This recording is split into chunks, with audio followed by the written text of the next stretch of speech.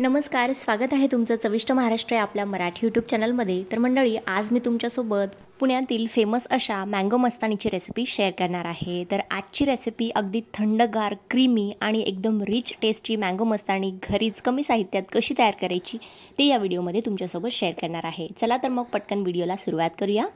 तर सगळ्यात अगोदर मी इथे एक आंबा घेतलेला आहे. यानंतर हवं असल्यास तुम्ही चाकूने किंवा स्लायसरच्या मदतीने अशा पद्धतीने आंब्याची वरची साल काढू शकता.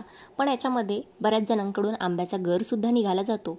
म्हणून काय करायचं? आंब्याची मोठी एक फोड अशा पद्धतीने कापून घ्यायची. यामुळे काय होतं? अजिबात गर वाया जात नाही आणि व्यवस्थित आंब्याचा आतला पूर्ण पल्प निघून जातो. तर अशा दोन मोठ्या फोडी कोईपर्यंत काप घेऊन कापून घ्यायच्या आहे. त्यानंतर आंब्याच्या फोडीला सुरीने किंवा चाकूच्या मदतीने अशा पद्धतीने चौकोनी आकारात तुम्हाला स्क्वेअरमध्ये कापून घ्यायचा आहे. आणि एक चमचा घेऊन तुम्हाला फक्त हा गर चमच्याच्या साह्याने अशा पद्धतीने काढून घ्यायचा आहे. बघू शकता एकदम सोपी पद्धत आहे. तुम्हाला आमरस करायचा असेल किंवा आंब्याचा पल्पसुद्धा काढायचा असेल तर आंबा अशा पद्धतीने तुम्ही काढून घेऊ शकता. यामधला पल्प बघू शकता.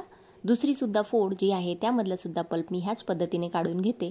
मिक्सरच्या छोट्या भांड्यामध्ये जवळपास आपण अर्धा ते पाऊण कप हा आंब्याचा गर किंवा पल्प काढून घेतलेला आहे. त्यानंतर आपण याच्यामध्ये एक मोठा चमचा किंवा एक स्कूप व्हॅनिला आईस्क्रीम घातलेला आहे. त्यानंतर दोन ते तीन चमचे मी इथे घालत आहे पावडर शुगर किंवा पिठी साखर. त्यानंतर अर्धा कप मी याच्यामध्ये एकदम थंडगार चिल्ड दूध घातलेलं आहे. याला मिक्सरमधून एकदा बारीक फिरवून घ्यायचं आहे.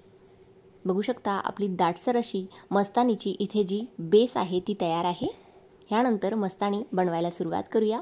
एका बाउलमध्ये किंवा काचेच्या ग्लासमध्ये सुद्धा तुम्ही याला सर्व करू शकता. बेस घालायचा आहे म्हणजे मँगो ज्यूस त्यानंतर थोडीशी व्हॅनिला आईस्क्रीम त्यानंतर आंब्याचे छोटे छोटे क्यूब्स किंवा चंक्स म्हणू शकता तुम्ही. काजू घातलेले आहेत भरपूर अशी टुटी फ्रुटी घातलेली आहे.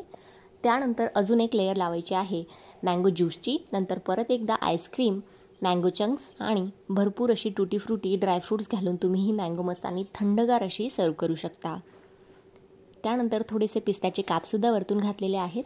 हो जर तुमच्याकडे व्हॅनिला आईस्क्रीम नसेल तर तुम्ही त्याऐवजी मँगो आईस्क्रीम वापरलं तरीही चालेल. नक्की एकदा ह्या उन्हाळ्यामध्ये थंडगार क्रीमी आणि खूप जास्त रिच टेस्ट असलेली ही पुण्याची फेमस अशी मँगो मस्तानी नक्की या उन्हाळ्यात ट्राय करा. आणि हो हा व्हिडिओ जर तुम्हाला थोडासा जरी आवडला असेल तर व्हिडिओला एक लाईक करा आणि असेच नवनवीन व्हिडिओज बघण्यासाठी प्रविष्ट महाराष्ट्र या आपल्या मराठी यूट्यूब चॅनलला सबस्क्राईब करायला देखील विसरू नका. चला तर मंडळी भेटूया अशाच एखाद्या नवीन व्हिडिओसोबत किंवा नवीन रेसिपीसोबत तोपर्यंत धन्यवाद. Thanks for watching take care bye bye 拜。